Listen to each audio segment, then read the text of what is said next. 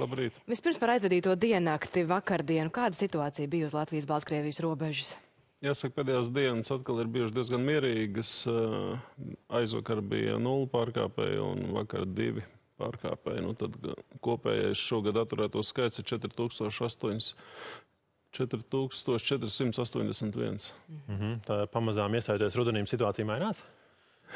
Ir ļoti mainīgi. Katra diena ir atšķirīga. Nedēļa atpakaļ bija vienā dienā 74 pārkāpēji, pēc tam ir kritums. Un, um, nu, bažas riski īstenībā, ka tuvojoties ziemai, varētu būt arī nedēļas, kad šis pārkāpēju skaits būs vienas dienas ietvarā lielāks. Ko var sagaidīt vispār turpmāk? Kādi šobrīd tie scenāriji tiek modelēti, protams, arī zinot, kāda bija pieredze iepriekšējos gados? Katrs gads ir atšķirīgs, un mēs jau ceturto gadu esam faktiski šādos hibrīda kara apstākļos. Un, uh, bieži novērojam to, ka šī pārkāpumu, pārkāpumu aktivitāte, instrumentalizācija aktivizējas tieši saskaņā ar kādiem Latvijas pieņemtiem lēmumiem. Aizpagājušā gada rudens tā bija šo padomu laika pieminekļu demontāžas laiks, kad mēs rudenī saskārāmies ar lielu skaitu. Pagājušā gada 1. septembris stājās spēkā prasības Krievijas pilsoņiem pēc valsts valodas zināšanām, un augusts, septembris, oktobris bija lielākais pārkāpējs skaits. Tātad, tā ir bieži vien atbildes reakcija par kādu nepatīkamu Krievijas, Baltkrievijas pusē Latvijas pieņemt politisku lēmumu. Patreiz, nu, nu, patreiz neizskatās, ka varētu būt kāda lielāka eskalācija dēļ šī, bet nu, informācija tāda ir, ka, protams, šie nelikumīgi šķērsot robežu gribētāji ir pietiekami lielā skaitā robežu stūmā. Kāda ir situācija uz citu valstu robežām ar Baltkrieviju? Sarežģītākā situācija visa šī gada ietvarās ir uz Polijas robežas, Polijas-Baltkrievijas robežas, kur nu, vidēji nedēļā svārstās ap 700 pārkāpumiem. Viens, viens nedēļas ietvarā, proti tad 100 vidēji diennaktī. Ap šo skaitli Lietuvā ir nedaudz mierīgāk nekā Latvijā, bet epizodiski arī tiek novērots, ka pārkāpumi tiek virzīti arī uz Lietuvu. Mhm. Iepriekš, protams, tika ziņots, ka nelegālie robežas šķērsotāji reizēm ir agresīvi, arī uzbrukoši robežu sargiem. Kā ar šādiem gadījumiem, teiksim, pēdējā laikā? Arī pēdējā laikā ir bijis uzbrukums robežsargam, bija mēģinājums atņemt šaujamieroci, kas pārkāpējiem nav izdevies.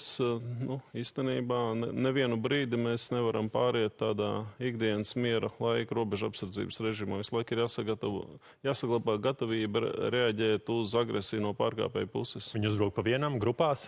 Uh, Biežāk tas, kad viņi ir lielāks skaits, proti, robežsargu norīkojums ir divi, bet tiek aizturēti pārkāpēji, kur bieži vien ir 21 grupā. Un no kuras valsts viņi nāk? Lielākais skaits patreiz ir Indija, Bangladeša. Nu, kur mēs, mēs redzam, nu, tad, protams, ir arī pārstāvi no Sīrijas, Irānas, Irākas, Afganistānas. -hmm. Kā ir ar cilvēku resursiem robežsardzē, vai pietiek spēka un spēju ap, apturēt šos uzbrukumus? Iepriekšējie gadi visi, diemžēl, ir gājuši ar mīnus zīmi, kad gads tika noslēgts ar lielāku skaitu aizgājušo nekā ja, jaunu pieņemto. Cerams, ka šis gads un nākamais gads būs pavērsiena gads, ka pirmkārt izdosies šo negatīvo lejupslīdi apturēt un eh, pieņemt vairāk dienas. Tā esam realizējuši vasaras uh, robežsargu uzņemšanu, bet patreiz uh, trūkstošo skaits ir 15%. 15% šobrīd trūkst valsts eh, robežsardzē. Tas nākamā gada finansējums, kas tiek iezīmēts, vai ir zināms, vismaz, cik, eh, cik daudz no tā tiks eh, mm, valsts robežsardzē? Vai tas ir, spēs situāciju uzlabot? Ir zināms, un nu, jāņem vērā, ka, protams, ir sarežģīta, gudri pateikšu, fiskālā telpa, ne, un kopējai nu, šīs finansējuma pieejamība, tad robežsardzei papildus ir iezīmēti tieši atlīdzībai 15 miljoni. 15 miljoni eiro. Jā.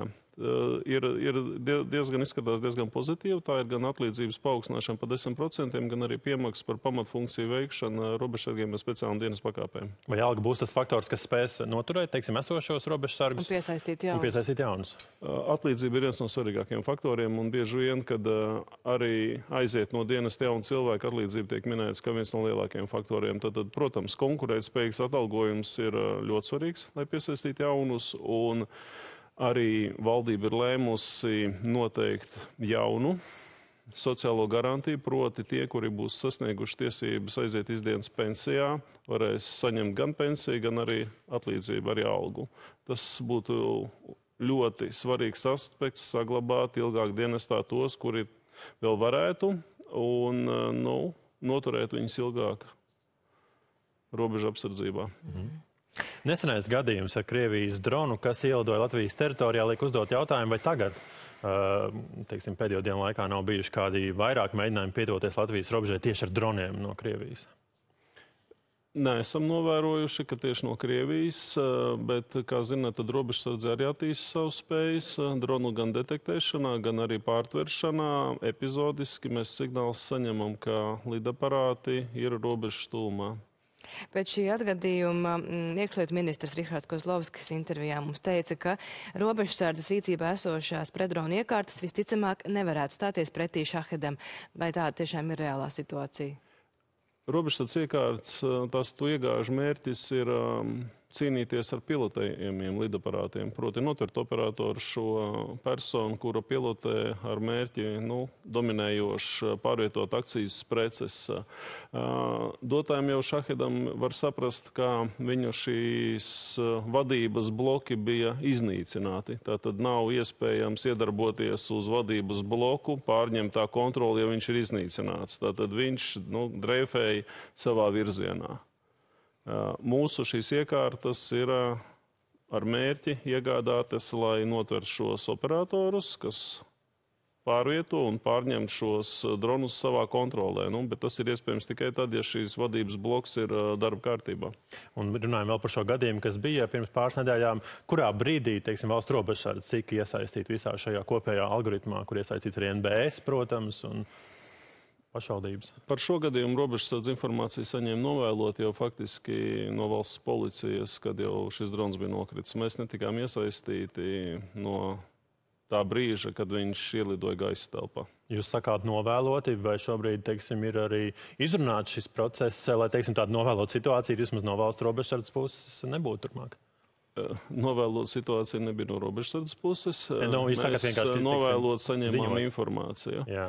Ir izrunāts, un esam jau vairākos gadījumos pēc šī incidenta saņēmuši saulēcīgu informāciju, kur ir aizdoms, ka varētu būt kāds lidaparāts tūlīt Latvijas robežai. Mhm. Vai šādi gadījumi, teiksim, var prognozēt iespējamību arī turpmāk daudz? Var prognozēt, jūs tā kā arī, nu, publiski pieejamo informāciju redzat, ka Ukraiņiem izdodas virkni notriekt un daļa no droniem dodas Baltkrievijas virzienā. Tad, protams, pastāv iespējamība, ka tiek šķērsota Baltkrievija un kāds no šiem kontroli zaudējušajiem droniem iekļūst atkal Latvijas teritorijā. Viens ir šī komunikācija, kas, saprot, jau ir uzlabota. Kas vēl ir šādos gadījumos, jūsuprāt, būtu jāuzlabo, lai reaģēšana notiktu ātrāk? Svarīgi, protams, ir saulēcīgi saņemt informāciju un tālāk procesa koordinēšana, jo ir, protams, arī nosacījumi šī pārtveramā drona lidojuma ātrums, diennakts laiks, proti, vai atrodas robežsardze helikoptera dežurējuši apkalpu uz vietas, vai tam ir, ir nepieciešams zināms laiks ierasties, tad, tad proti, reaģēšanas ātrums un, un konkrēti kādu rīcību tad veids robežsargi. Un tātad mu, robežsardzes rīcība būtu jābūt saskaņā ar bruņoto spēku vadlīnijām, norādījumiem. Jūs minējāt, ka 15 miljonu eiro iezīmēt vismaz atalgojumu kāpumam tieši valsts robežsardzē. Vai jūs tiešām redzat, ka nākamgad vismaz uh, valdības līmenī ir noteikti prioritāte ārējā droši, iekšējā drošība, vai redzat, ka tiešām arī iekšējā drošība arī ar citiem palielinājumiem, citiem dienestiem tiešām mūsu valstī iekšējā drošība tiks stiprināta?